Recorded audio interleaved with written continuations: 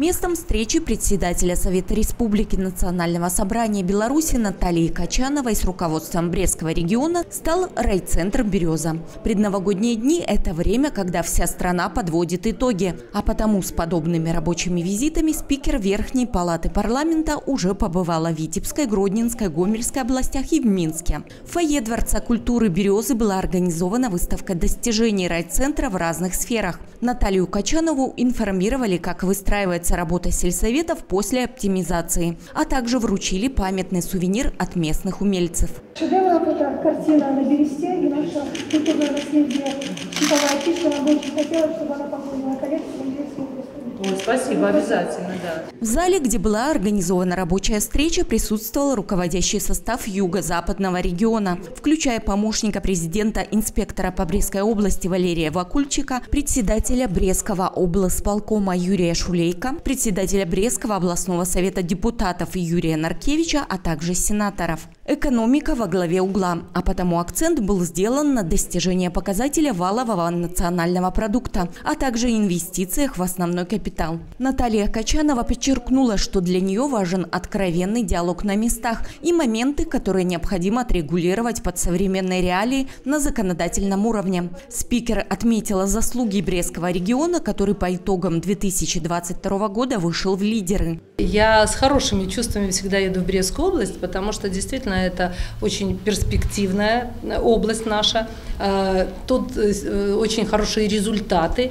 Результаты в сельском хозяйстве. Я сегодня сказала еще раз слова признательности, благодарности всем, потому что, конечно, то, как мы обеспечили безопасность нашу продовольственную, так как сработали аграрии в этом году, Брестской области, низкий поклон и слова признательности и благодарности. Но, конечно, область развивается, прирастает новыми проектами, о которых мы сегодня говорили, потому что та задача, которую поставил глава государства и определены шестым Всебелорусским народным собранием равномерное развитие регионов, это так и должно быть. Люди должны жить в регионах, иметь работу, иметь хорошие объекты социально-культурного назначения. Поэтому, конечно, руководство области все это прекрасно понимает и делает все для того, чтобы область развивалась, для того, чтобы поставленные задачи в развитии социально-экономическом были выполнены, причем выполнены на самом высоком уровне. Я вижу, как э, переживает губернатор за все то, что происходит в его области, в веренной ему области. И я вижу, что, да не просто я вижу, это подтверждает статистика, что те э, достижения, которые есть в Брестской области, они очень значимы. Они важны не только для тех людей, которые живут в этой области, но и в целом для нашей страны.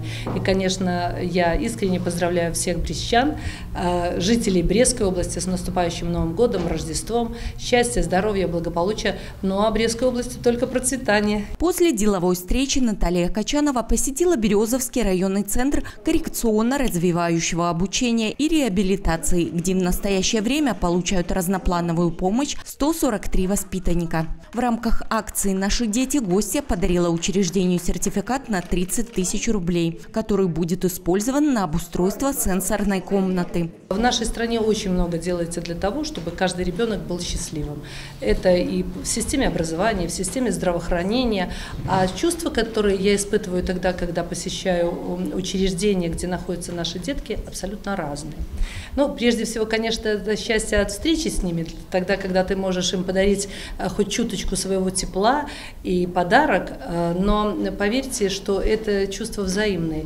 Ты ровно столько же получаешь от общения с этими детьми. В этот день было не только много общения с детьми, веселья и музыки, но и поздравления, добрые слова в адрес педагогов, а также подарки на этом не закончились. Такого труда почетного сегодня, который вы выполняете вместе с нашими детьми, наверное, не каждому удастся придумать и сказать огромное спасибо.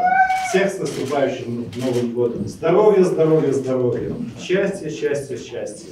И, конечно, чтобы в вашем прекрасном учебном заведении всегда была радость, порядок, уют, настроение. Конечно, пускай сбудутся все мечты, которые вы сегодня загадали или загадаете под Новый год. Всех вас с наступающим Новым годом. Будьте здоровы. Председатель Брестского облсполкома Юрий Шулейко вручил Центру коррекционно-развивающего обучения телевизор, а Юрий Наркевич от имени всего депутатского корпуса области «Интерактивное зеркало». Людмила Лагодич, Андрей Щерба, Юрий Лемонтович, телекомпания «Бук-ТВ».